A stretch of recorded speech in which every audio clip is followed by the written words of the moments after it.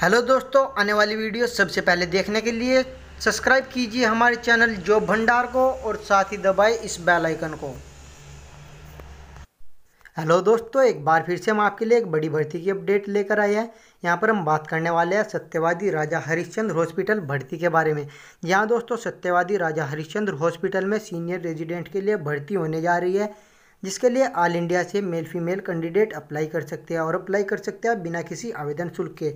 दोस्तों, आपको सैलरी यहाँ पर मिलने वाली है सड़सठ हज़ार सात सौ से दो लाख आठ हज़ार सात सौ रुपये पर मंथ। और आपका सिलेक्शन यहाँ पर वॉक इन इंटरव्यू के द्वारा होने जा रहा है। वॉक इन इंटरव्यू कंडक्ट होने जा रहा है तेरह अप्रैल दो हज़ार बीस को।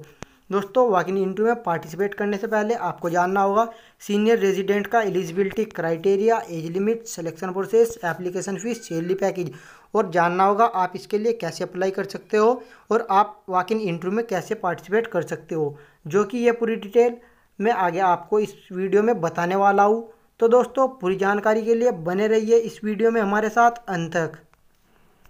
दोस्तों, ये आपके सामने इस भर्ती का ऑफिशियल नोटिफिकेशन है, जो जारी किया गया था सात चार दो हज़ार बीस को, और ये भर्ती होने जा रही है सत्यवादी राजा हरिश्चंद्र हॉस्पिटल में सीनियर रेजिडेंट पोस्ट के लिए, जिसके लिए वॉक इन इंटरव्यू कंडक्ट होने जा रहा है। दोस्तों वॉक इन इंटरव्यू कंडक्ट होने जा रहा है तेरह चार दो हज़ार बीस को, और इसका टाइमिंग रहने वाला है नौ ए एम से ग्यारह ए एम तक। दोस्तों, यहाँ से आप डिपार्टमेंट वाइज वैकेंसी चेक कर सकते हो। दोस्तों, बात कर लेते हैं किस पोस्ट पर अप्लाई करने के लिए क्या एलिजिबिलिटी होना ज़रूरी है। सीनियर रेजिडेंट के लिए एमबीबीएस और साथ ही साथ ग्रेजुएट डिग्री या डिप्लोमा होना ज़रूरी है और दो साल का एक्सपीरियंस होना ज़रूरी है, वो भी गवर्नमेंट अप्रूव्ड हॉस्पिटल में। दोस्तों, बात कर लेते हैं सीनियर रेजिडेंट कैजुअलिटी पोस्ट के लिए।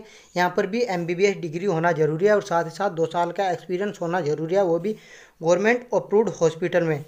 दोस्तों, अब देख लेते हैं यहाँ पर अप्लाई करने के लिए क्या एज होना ज़रूरी है। यहाँ पर कैटेगरी वाइज मैक्सिमम एज दे रखी है जो इस प्रकार है।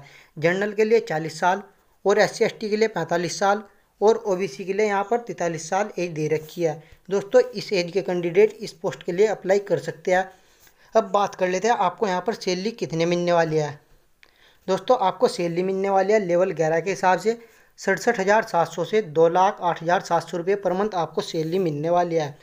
दोस्तों, आपका सिलेक्शन यहाँ पर इंटरव्यू के द्वारा होने जा रहा है और यहाँ पर बता दिया गया है कि आप इंटरव्यू में बिना किसी फ़ी के अपीयरिंग हो सकते हो। जी हाँ दोस्तों, आप बिना किसी फ़ी के इंटरव्यू में पार्टिसिपेट कर सकते हो। दोस्तों इंटरव्यू रजिस्ट्रेशन के लिए आपको इसी हॉस्पिटल में कॉन्फ्रेंस रूम नंबर 103 में 9 एम से 11 एम तक पहुँचना होगा। दोस्तों, यहाँ पर बता दिया गया कि जो कैंडिडेट यहाँ पर सेलेक्ट किए जाएँगे, उस कैंडिडेट को इमीडिएटली ज्वाइन करना होगा, वो भी सात दिन के अंदर। और जो कैंडिडेट इमीडिएटली ज्वाइन कर सकते हैं, वो कैंडिडेट इसके लिए अप्लाई कर सकते हैं। दोस्तों, इस वीडियो में इतना ही। अगर आपको और ज़्यादा जानकारी चाहिए तो आप इस ऑफिशियल नोटिफिकेशन को डाउनलोड कर सकते हो। इसका लिंक मैं इस वीडियो के डिस्क्रिप्शन में दे रहा हूँ। वहाँ से आप इसको डाउनलोड करके इस रिक्रूटमेंट की पूरी डिटेल आसानी से चेकआउट कर सकते हो और फिर वॉक इन इंटरव्यू में तेरह चार दो हज़ार बीस को पार्टिसिपेट कर सकते हो। दोस्तों, अगर यह वीडियो आपको पसंद आई हो तो इस वीडियो को लाइक और शेयर ज़रूर करें। अगर आपने अभी तक हमारे चैनल को सब्सक्राइब नहीं किया तो हमारे चैनल को सब्सक्राइब कर लें, क्योंकि आगे भी हम आपके लिए ऐसी बड़ी भर्ती की अपडेट लेकर आने वाले हैं।